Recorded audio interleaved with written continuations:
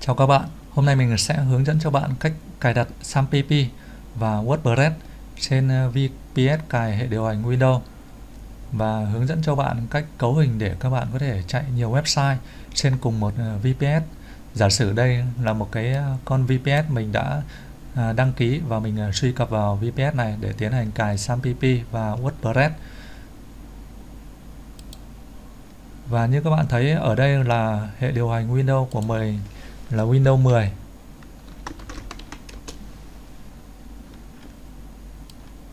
Đấy, đây là Windows 10 mình à, sẽ hướng dẫn bạn à, cài đặt và cấu hình SAMPP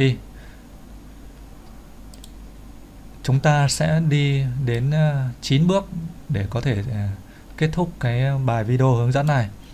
Bước thứ nhất thì các bạn tiến hành download cài SAMPP thứ hai là thay đổi password PHP MyAdmin Bước 3 là các bạn tạo cái folder chứa mã nguồn WordPress.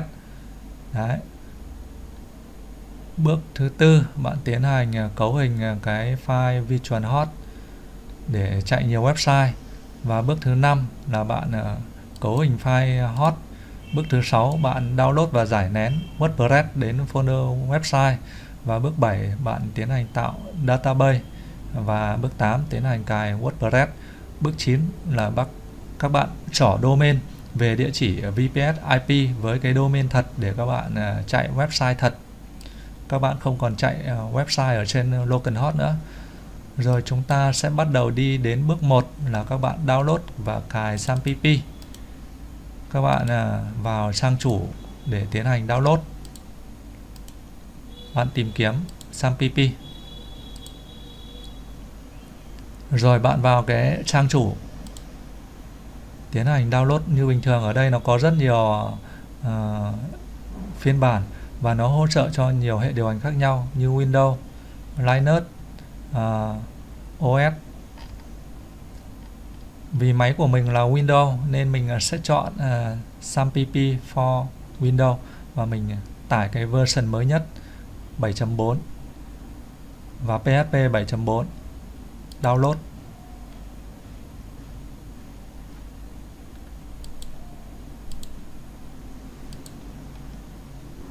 Các bạn uh, mở cái file.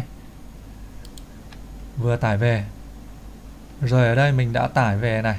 Thì các bạn sẽ tiến hành cài đặt.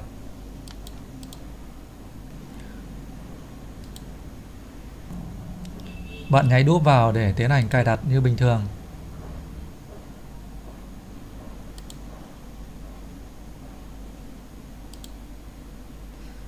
Rồi ở bước này nó có cái cảnh báo quan trọng cho bạn bạn bấm ok. Không sao cả, bạn bấm next. Tiếp theo, cái bước cài đặt này nó nhanh thôi, mình ờ, tiến hành nhanh. Các bạn cài SAMPP không nên để vào ổ C. Ừ. các bạn nên di chuyển qua ổ D, ổ E. Các bạn nên cài vào ổ D. Ở đây mình tạo một cái folder. Đặt SAMPP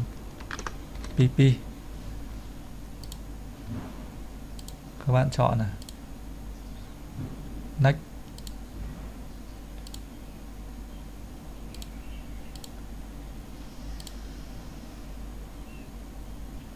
Bước cài đặt này nó sẽ chạy nhanh thôi và không có gì phức tạp và mình cũng sẽ tua nhanh cái đoạn này để đến nhanh đến cái bước tiếp theo.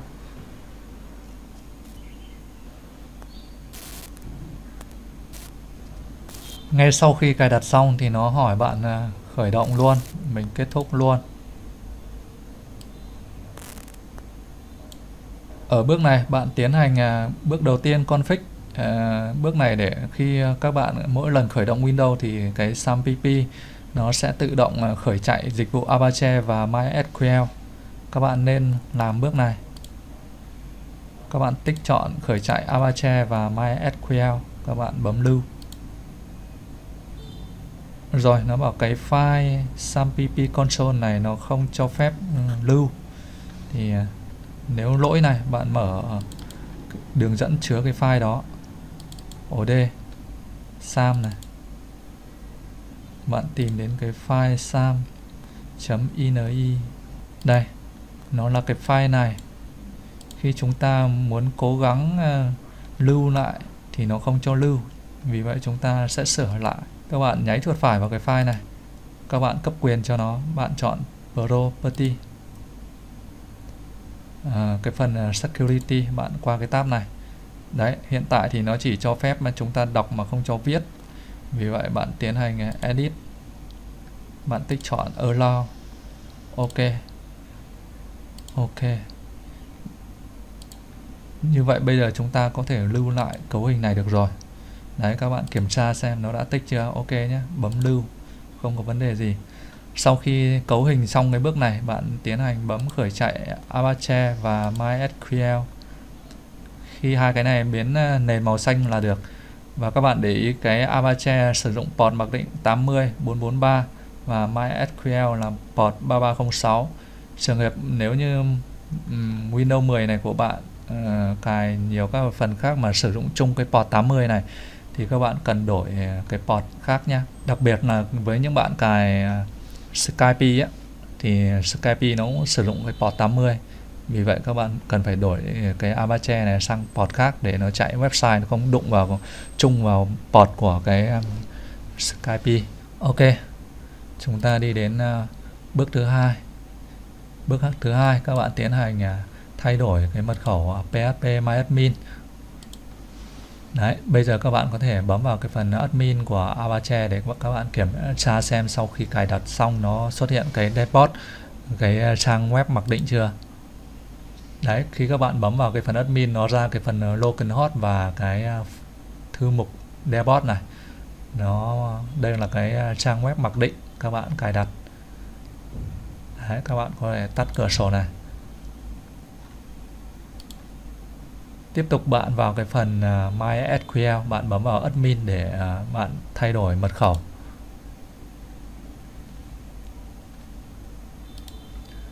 Mặc định uh, các bạn vào PHP MyAdmin thì với uh, username là root còn mật khẩu thì là không có gì. Chính vì vậy mà mình sẽ hướng dẫn cho bạn đổi đổi mật khẩu. Bạn vào phần user account ở đây. Các bạn để ý cái phần password này toàn bộ nó là no, nghĩa là không có mật khẩu. Bây giờ các bạn cần à, tích vào cái phần tài khoản root localhost này. Bạn bấm vào phần edit để thay đổi mật khẩu. Bạn bấm vào phần change password. Rồi bạn nhập mật khẩu ở đây. Mật khẩu mình à, sẽ đặt là tin học thực hành. Dòng dưới giống nhau. Ok sau đó thì bạn bấm vào go. Mình à, sẽ cho xem bạn mật khẩu mình vừa đặt là tin học thực hành viết hoa. Rồi ok. Khi ờ, chúng ta đổi cái mật khẩu này bây giờ các bạn bấm loát này thì nó sẽ báo lỗi. Bởi vì nó ờ, nhớ cái mật khẩu ờ, đăng nhập trước nó là không có mật khẩu nên các bạn cần phải cấu hình để uh, điền cho nó cái mật khẩu các bạn vừa đặt. Bạn mở Apache, ở cái phần Apache này, bạn vào config này. Bạn mở cái phần PHP MyAdmin. Rồi. Bạn tìm đến cái ô, cái cái chữ password, cái dòng này. Đấy. Password mặc định nó để trống thì các bạn vừa thay đổi mật khẩu rồi. Các bạn thay đổi mật khẩu là gì? Bạn điền vào đây. Đấy mình đặt mật khẩu tin học thực hành viết hoa. Các bạn bấm lưu lưu lại cái file config này. Như vậy bây giờ các bạn à, tải lại trang này thì nó sẽ không còn lỗi nữa. Rồi ok đúng không? Như vậy bước thứ hai của chúng ta xong rồi. Bước thứ ba chúng ta sẽ tạo cái folder chứa những website mà chúng ta sẽ đặt ờ, lên con VPS này. Bạn mở PC. Bạn mở vào đây. Bạn không nên để uh, C nhé. Ở đây bạn tạo cho nó một cái folder mới. Ví dụ mình đặt là web server. Enter. Trong này mình à, sẽ đặt nhiều website. Rồi, mình à, đặt tin học thực hành. Tk, enter. Và mình đặt thêm cái web nữa, là tay máy tò mò. Tk. Rồi, mình à, sẽ chạy hai cái website này. Ok nhé. À, bước 4 chúng ta sẽ tiến hành cấu hình ờ, à, virtual Hot. bạn à, sẽ mở cái file này. Đấy, bạn có thể mở cái đường dẫn C. À, các bạn cài xăm thì ở ổ D các bạn vào ổ D. Đấy. Bạn có thể qua lại cái bảng cửa sổ xăm control panel này. Bạn vào config này. Đấy bạn vào phần uh, Apache các bạn vào đây để tìm kiếm. Rồi bạn vào cái folder config này. Tiếp tục folder extra. Bạn kéo xuống phía dưới. Bạn tìm đến cái chữ ừ, httpd gạch vhot. Các bạn uh, nháy đúp để mở với notepad nhé rồi bước này bạn sẽ tiến hành cấu hình để nó có thể chạy được à, website của bạn. Thì bước bước này mình đã có sẵn một cái đoạn mã ở đây rồi. Bạn chỉ cần copy vào thôi. Đấy. Các bạn sẽ tiến hành copy các cái đoạn mã này. Các bạn dán vào đây. Rồi, các bạn hiểu là cái à, đoạn trên này là nó sẽ cho phép truy cập vào cái folder web server đấy, thì các bạn phải xem lại cái thư mục bạn đặt tên là gì nhé.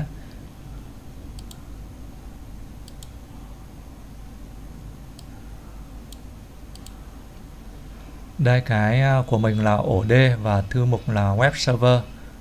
Vì vậy các bạn cần phải sửa đúng cái chữ này. Ổ D, web server. Mình à, sẽ copy cái chữ này và mình cho vào đây.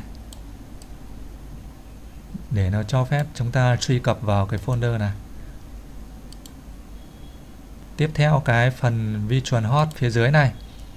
Các bạn để ý nếu các bạn sử dụng uh, port khác thì các bạn phải điền port khác vào đây. Còn mặc định thì mình sẽ đặt là port 80 ở cái phần uh, server name uh, không có W và ở phần phía dưới alias là có ba cái dấu ờ, W phía đằng trước. Và các bạn thay tên miền của các bạn vào đây. Ở đây mình ờ, sẽ đặt tên miền là tin học thực hành. Mình copy cái tên miền này. Thay thế vào đây. Tên miền của bạn là gì thì bạn thay thế vào đây.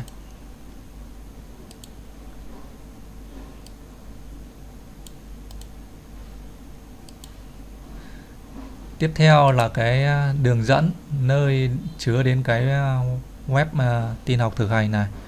Bạn thay thế nhé mình đặt là để ở, ở ổ D và ở cái folder web server này. Đấy. Chỗ này mình cũng sẽ phải thay đổi.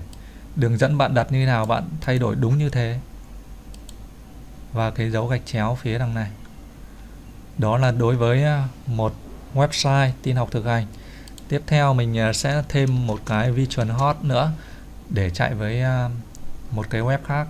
Bạn copy toàn bộ chỗ này. Bạn dán phía dưới. Rồi, cái chỗ tên miền này, bạn thay đổi tên miền của bạn tương ứng. Tên miền của mình tái máy tò mò copy. Bạn thay thế vào đây thôi.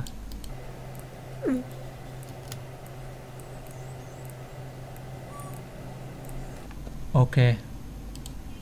Bấm lưu lại. Rồi, bạn tắt cửa sổ này. Trước hết mình à, sẽ ping hai cái tên miền để các bạn kiểm tra. Chắc chắn là hai tên miền à, đó mình chưa trỏ về cái địa chỉ IP của VPS này.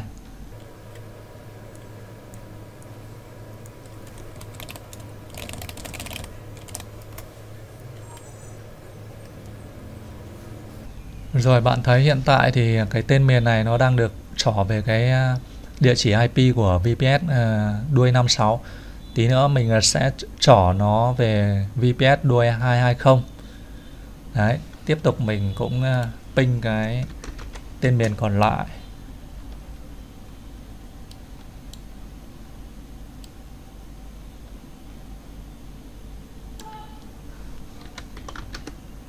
Thấy máy tò mò. Cái tên miền này bạn có thể vào trang .net.tk .tk để các bạn đăng ký miễn phí rồi bạn thấy này hai cái tên miền này nó đều trỏ về cái VPS có địa chỉ IP khác. Mà cái à, IP này thì mình cũng không có đặt website nên nó trả lời là timeout. tí nữa khi à, bước cuối cùng mình à, hướng dẫn cho bạn trỏ địa chỉ à, trỏ domain về cái địa chỉ của VPS 220 này. Rồi ok nhá. Như vậy cái bước uh, cấu hình uh, vi chuẩn hot chúng ta đã xong cái bước 4 bạn có thể uh, kiểm tra cái uh, file uh, của chúng ta xem như thế nào? Bạn có thể kiểm tra cái web của chúng ta. Bạn mở cái phần sam. Sau khi các bạn cấu hình xong ấy thì các bạn cần khởi động lại Apache nhé. Các bạn stop cả hai dịch vụ này. Rồi bạn bật trở lại để nó có hiệu lực. Ok. Bây giờ bạn vào cái phần Apache này phần admin này bạn kiểm tra xem. Ờ, rồi bạn gõ cái tên miền nhé tên miền đó, tên miền là tin học thực hành tk nhé hiện tại mình đang test ở trên local để ờ, chúng ta có thể test được thì bây giờ chúng ta đi đến bước tiếp theo. À, các bạn phải đến cái bước uh, config file hot này nữa. Bước 5 rồi bạn mở vào computer bạn vào ổ Windows ổ C. Vào Windows vào folder System 32 đấy. Tiếp tục bạn vào cái thư mục Drive. Thư mục này.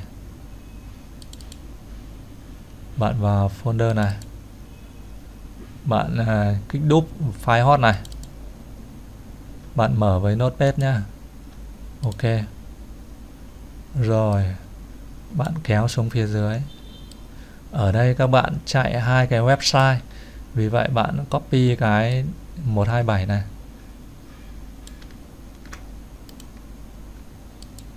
Bạn đưa xuống phía dưới.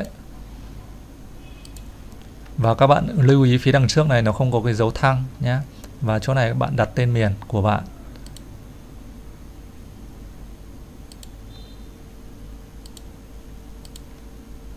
Rồi tên miền à, tái máy tò mò này tin học thực hành mình copy cái tên miền này mình sửa đây rồi ok bạn enter xuống phía dưới các bạn copy thêm mấy cái tên miền nữa bạn dán xuống này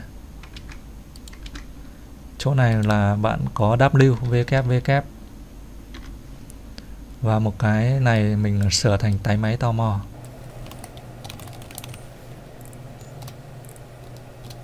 chỗ này có ba cái dấu W, W rồi bạn đã sửa file hot xong bạn bấm lưu lại. Ok. Bạn ờ, quay trở lại bạn ờ, vào lại cái trang tin học thực hành xem sao. Rồi ok nhé như vậy là nó đã chạy được trên ờ, localhost rồi chỉ có điều là nó chưa có nội dung thôi. Bạn kiểm tra tiếp cái tay máy tò mò .tk rồi nó cũng đều có cái à, bạn không có quyền với cái này. Bởi vì là bạn chưa có dữ liệu gì cả. Bây giờ chúng ta sẽ quay trở lại mở cái folder đó. Bạn mở folder. Bạn uh, sẽ tiến hành download uh, WordPress hiện tại mình đã download ờ, xuống rồi. Nó ừ, phiên bản hiện nay là 5.5.3 mình giải nén cái folder này.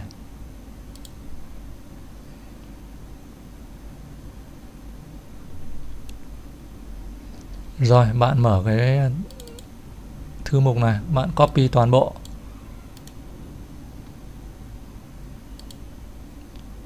Bạn đưa vào cái web đó. Rồi mình đưa vào tay máy tò mò đi.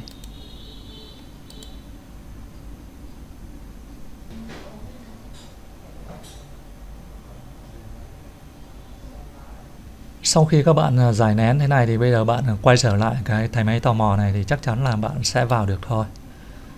Rồi đây ở cái à, máy tò mò đây. Bây giờ bạn bấm à, tải lại này. Đấy thì nó đưa bạn đến một cái trang à, setup config để bạn tiến hành cài đặt WordPress. Đấy rất đơn giản cái bước này. Rồi thì bạn có thể chọn tiếng Anh. Rồi cái bước này mình nghĩ chắc nhiều bạn biết mình à, tiến hành cài nhanh nhé.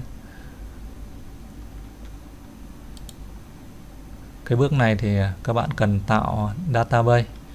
Nghĩa là chúng ta đi đến cái uh, bước 7 này, này. Các bạn tiến hành tạo database để tạo để tạo database thì bạn vào cái php myadmin bạn vào localhost đấy gạch chéo php myadmin ở đây bạn uh, tiến hành tạo uh, mới này. Database này mình đặt tên là cái máy tò mò.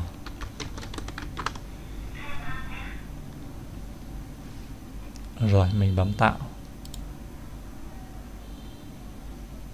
Đấy tay máy tò mò vậy thì chỗ này các bạn sẽ điền à, database của bạn. Rồi, username mặc định nó là root rồi. Cái phần password khi nãy các bạn đặt nó là tin học thực hành viết hoa.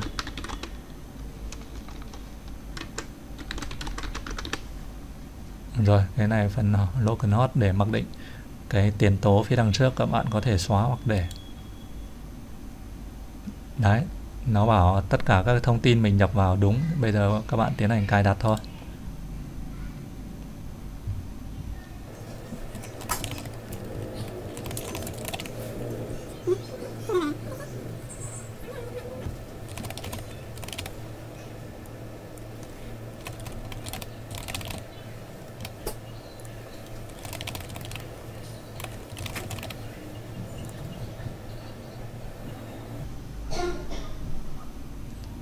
Rồi ok. Bạn à, sẽ có một cái account đăng nhập quản à, trị WordPress đó là admin tại máy tò mò và mật khẩu là tin học thực hành viết hoa. Bạn tiến hành đăng nhập thôi.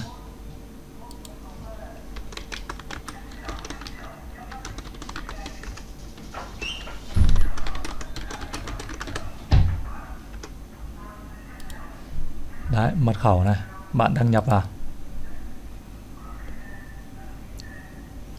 Rồi ok, như vậy bạn đã ờ, cài đặt xong WordPress.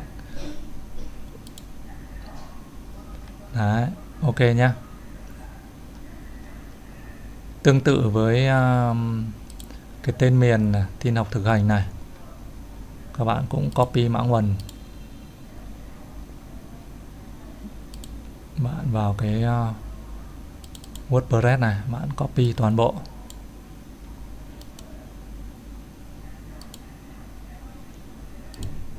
Bạn đưa vào cái à, folder. Tin học thực hành này.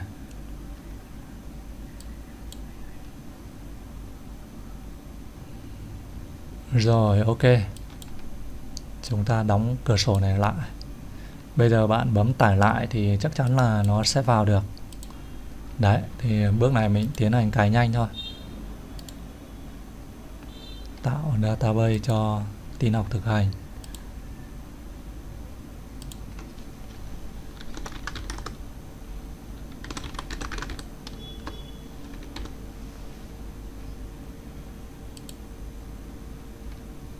Rồi. Quay trở lại. Tên database.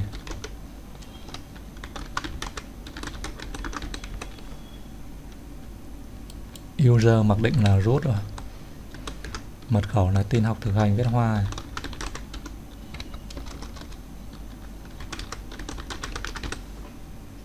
các bạn bấm. Đấy, thông tin bạn nhập vào đúng cài đặt.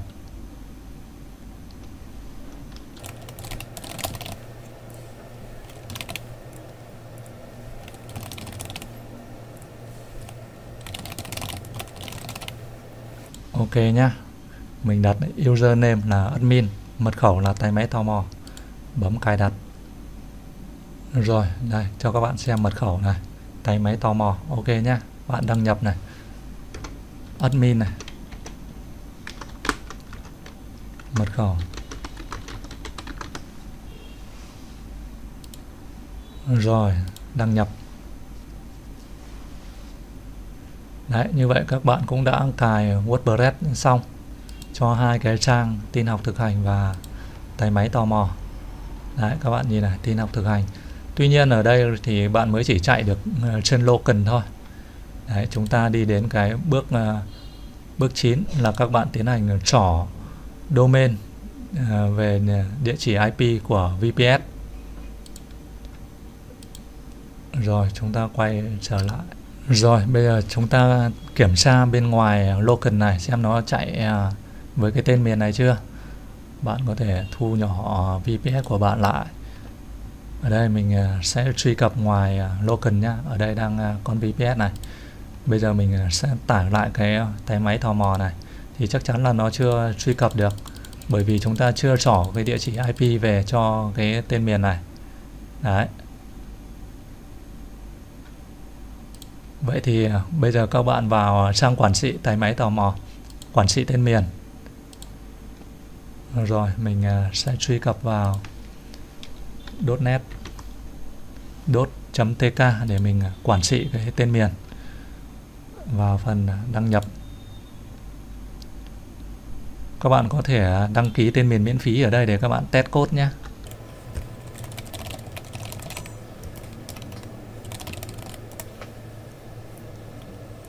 Ok, mình à, sẽ vào quản trị tên miền My Domain này. À, Ở đây mình đang có hai cái tên miền Mình vào quản trị Vào cái phần Manager DNS này. Rồi Hai cái địa chỉ IP này mình à, sẽ xóa bỏ làm lại từ đầu cho các bạn hình dung. Xóa bỏ luôn hai cái bản ghi này rồi, ok nhá. Bây giờ các bạn, ở cái kiểu này, bạn chọn là A. Đấy. Ở cái phần à, tên này bạn có thể nhập A còng hoặc không thì tùy các bạn. Cái phần này các bạn để mặc định cái phần target này, bạn nhập địa chỉ IP của VPS ở đây này. Đấy. 161.35.84.220 Đấy bạn copy. Đấy. sau đó thì các bạn thêm một cái bản ghi nữa. Bạn cũng dán IP vào. Với bản ghi này thì bạn à, cho ba dấu V kép phía đằng trước. Rồi, bạn bấm lưu lại. Bạn bỏ cái à, ký tự A còng này đi. Đấy, bạn bấm lưu ở cái phần quản trị tên miền miễn phí này, nó lại không chấp nhận cái a còng này mà bỏ trống. Đấy. Tiếp theo, bạn ờ, lại quay trở lại để bạn quản trị với cái tên miền khác. Hiện tại bạn đã thay đổi cái tên miền ờ, tin học thực hành này về cái địa chỉ IP của VPS đây, để các bạn có thể truy cập website bên ờ, phía ngoài, không phải truy cập dạng local nữa. Bạn vào quản trị My Domain. Tiếp tục bạn vào phần tái máy tò mò để bạn trỏ địa chỉ IP ở đây nó cũng đang là cái địa chỉ IP này, thì bạn cần thay đổi nó. Rồi, ở cái kiểu này bạn chọn A này, hết này. Và một cái không có W, một cái có W. Sau đó thì bạn bấm lưu lại. Đấy. Rồi chúng ta tải lại xem nó đã thay đổi chưa. Đấy, địa chỉ IP nó đã cập nhật ở đây rồi nhá. Khi nãy mình ping hai cái tên miền này thì nó đang là cái IP này. Tí nữa mình ping khi nào nó phải trỏ về đúng cái IP này thì mới được. Đấy. Bây giờ mình à, sẽ ping để kiểm tra.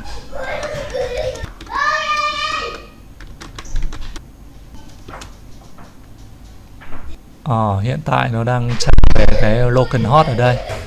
Các bạn tiếp tục ping cái kia.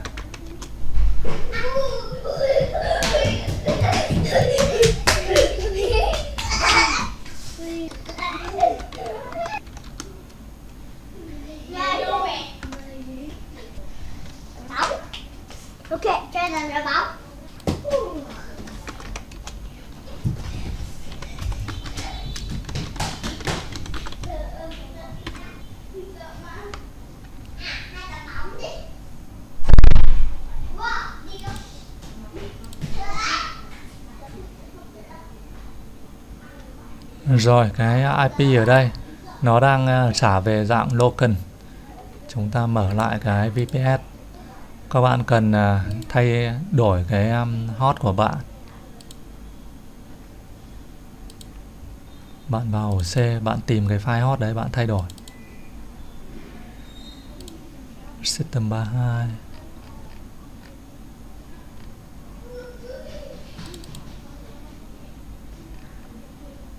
driver uh,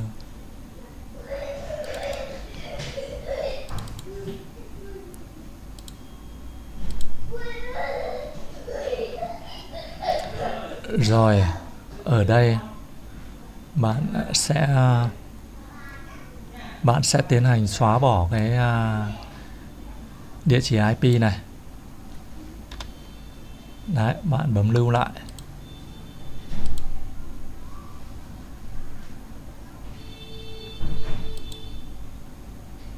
Kiểm tra lại chỗ này. Chưa có.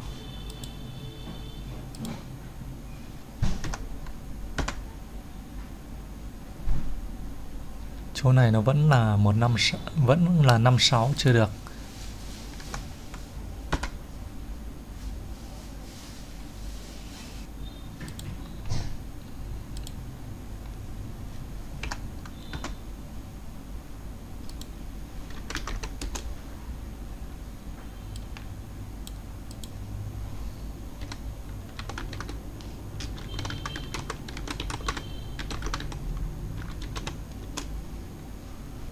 Rồi tí mình ờ, sẽ kiểm tra lại cái này. Kiểm tra cái này xem được chưa? Chưa có à?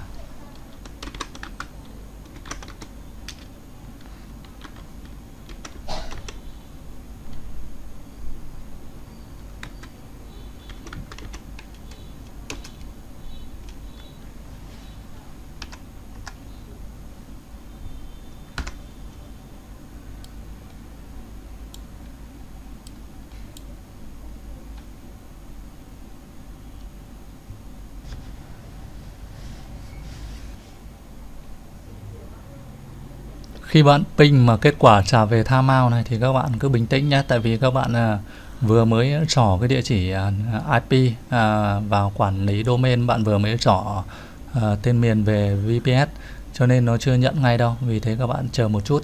Bây giờ các bạn có thể mở cửa sổ comment trở lại để các bạn ping lại xem. Rồi.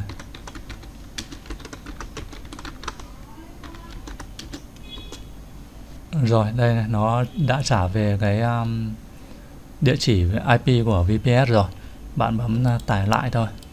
Đấy, các bạn đã đăng nhập vào được rồi này, bên ngoài. Rồi, tương tự với à, phần à, tên miền tin học thực hành.tk cũng vậy thôi. Chúng ta thử kiểm tra xem nó đã trỏ về chưa. Rồi, đấy, kể cả cái tin học thực hành cũng thế, các bạn thấy này. Rồi, khi các bạn ping ở đây này thì nó đã trở về đúng cái địa chỉ IP ở đây rồi cái này bỏ